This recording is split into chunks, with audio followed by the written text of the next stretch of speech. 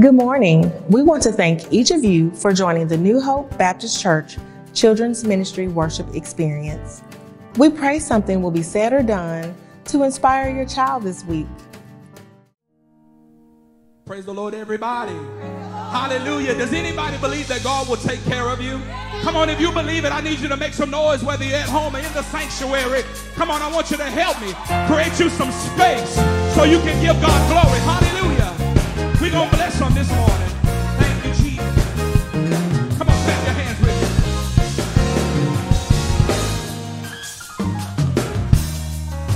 me. Be not dismayed, whatever betide.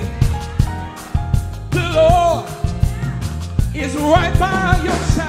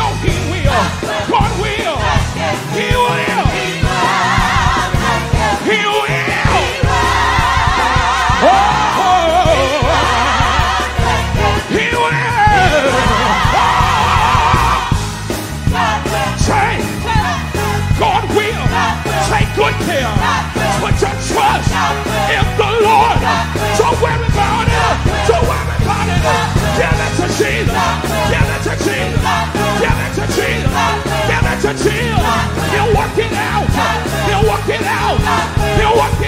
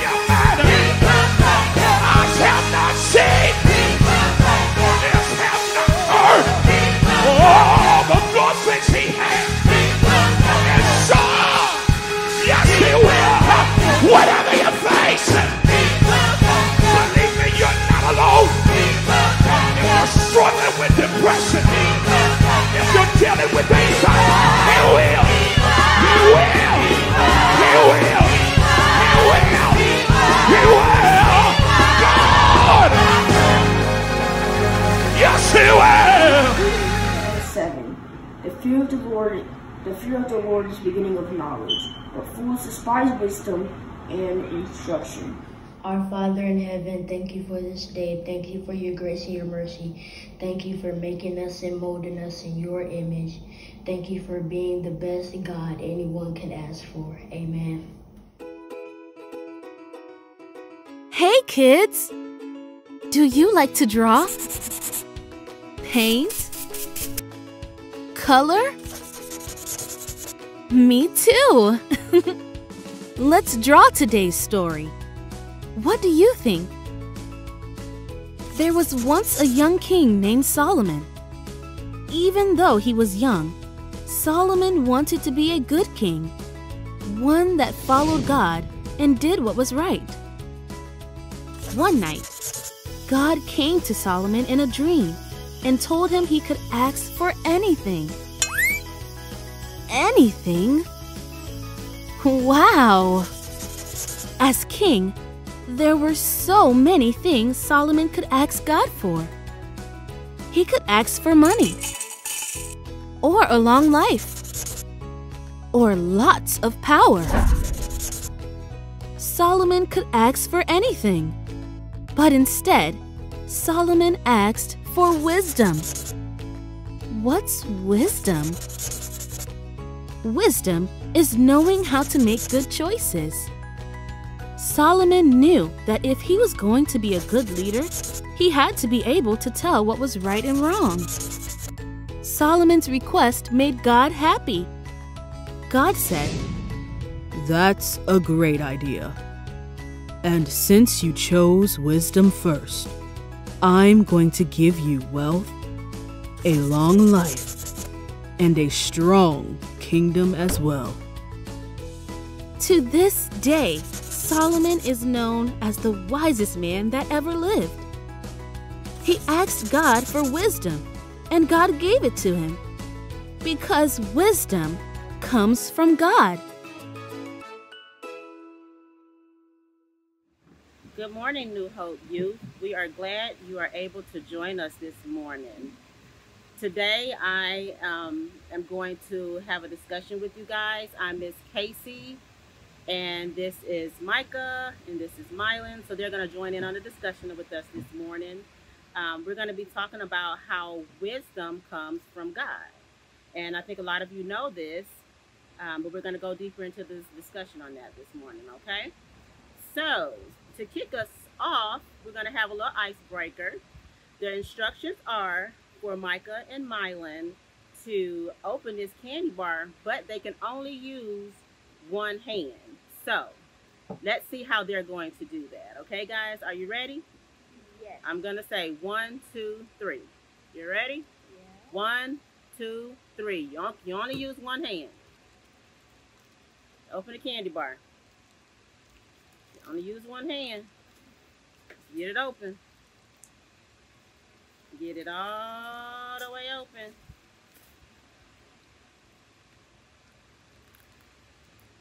It's hot out here. It looks like it's melting before they can even get it open. I think That My, I think Mylan's pretty much the winner. Turn it around and show show everyone Mylan. Mylan's got his open, so great job, Mylan. Now I'm gonna eat it. I know. So tell me, what wisdom did you use to get that candy bar open with one hand? That had to have been pretty hard. Just use my teeth and pull down. You just use your teeth to and pull down on the wrapper? Yeah. Okay, I, I can say that was pretty wise. Good job, bud, okay? So today we're starting a new series this week and it's called Wise. And in this series, you're going to learn the meaning of being wise and how to use wisdom, okay? We use wisdom in our daily lives, so we just have to learn how to use that. So, Mylan, tell me, what is wisdom to you? What do what does that mean? Being wise to people. Being wise to people? Mylan, what do you think wisdom is? Uh, knowledge. You think it's knowledge? Yeah. Okay. Um, when do you need wisdom? In school. In school? Okay, Mylan, when do you think you, you need wisdom? Home. At home? Yeah, you, you do need wisdom at home, that's for sure. Who do you know that's a wise person, Michael? My teacher, Miss Shelton. Your teacher, Miss Shelton? I, I think she's pretty wise. Mylan, who do you think's me? Yes. Thank you, Bud. Thank you very much. Appreciate it. I know um, those are very good answers, but I also know another person who is very wise. Uh, he's probably the wisest of them all, and his name is King Solomon. So let me tell you a little about about how King Solomon got his wisdom, how he came about it, and that comes from First Kings three verses one through thirteen everyone speaks of Solomon's wisdom. We hear that all the time, you know, at church in your classes. We hear that all the time. So how he came about it, he was just sleeping one night, just like you guys, you know, sleep at nighttime, and he heard God speak to him. And God granted him one wish. He said, Solomon, what wish would you like to be granted? What do you think Solomon asked for, Michael? Um, power. Power? What do you think he asked for, Mila? Wis- wise wisdom. Wisdom? Okay, you're pretty good. What what would you have asked him for? If God granted you one wish, what would it be, Micah? Wisdom. Wisdom. It would be wisdom. Wisdom. Wisdom. Okay. All right. We're pretty good. That's the same thing that King Solomon asked him for.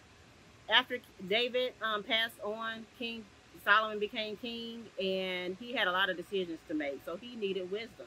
He asked God wisdom to rule God's people and to have a listening heart because he had a lot of decisions to make. And God was so happy. He was so pleased at the request that Solomon had asked him for. So, because he was so happy, what do you think he did, Micah? Uh, Do you know? give him more wishes, maybe. No, he didn't give him more wishes, but he did give him all the wisdom that he desired.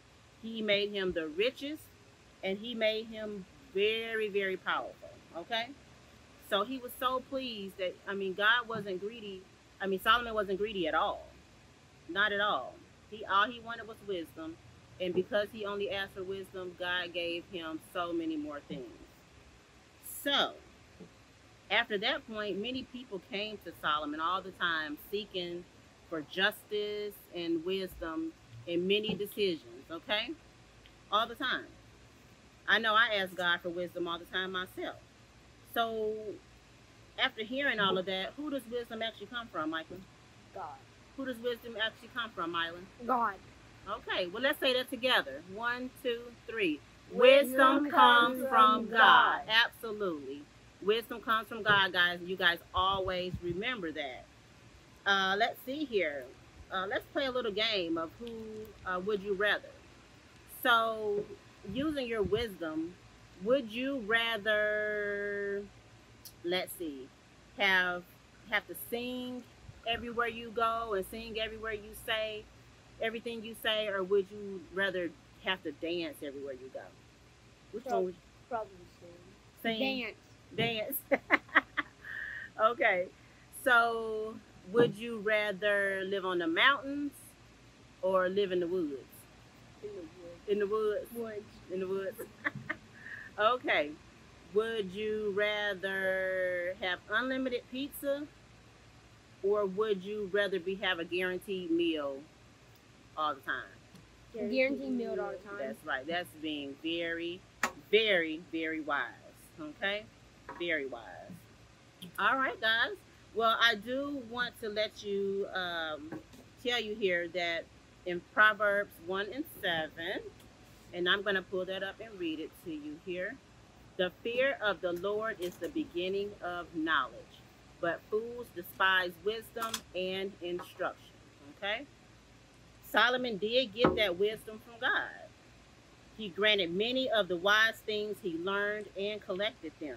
We can read in the Bible, in the books of Proverbs all the time, and it tells you just that. Okay?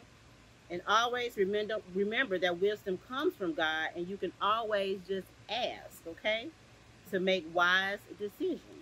Okay? Now, I just want us to get together now and we're going to pray, okay? Let's bow our heads. God, we love you and we know wisdom can only come from you. We pray and ask you to bless you, bless us with wisdom, and to know what the best possible action is in all of the situations we may face. We know you will help us make good decisions, and we thank you for how you care for us and how you guide for us, Lord. A- Amen. Okay, so we've learned a lot about wisdom today. So now we're going to have an activity. Go ahead. Micah and Mylan are both going to get a plate of whipped cream. Michael, get your plate, please. And at the bottom, you have gummy bears, okay? So, on a count of three, you're going to both put your face in the whipped cream to see if you can find the gummy bears, okay? Are you ready? Stand up. You can stand up. One, two, three. Put your face in the whipped cream. Try to find the gummy bears. Go Oh. ahead, Mylan. Go ahead, Mylan. Put your face in there. Don't be scared. Dig in. Dig in. Dig in. dig in. You find any gummy bears? Mylan, do mm-hmm. you have any gummy bears on there? No. No gummy bears? Yummy. No? I think Mylan's liking this whipped cream.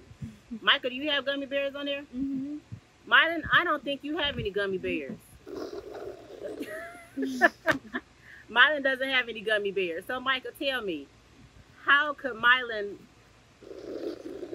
have prevented putting his face in that whipped cream and finding out if he had gummy bears or not? Maybe looking through it first. Maybe looking through it first.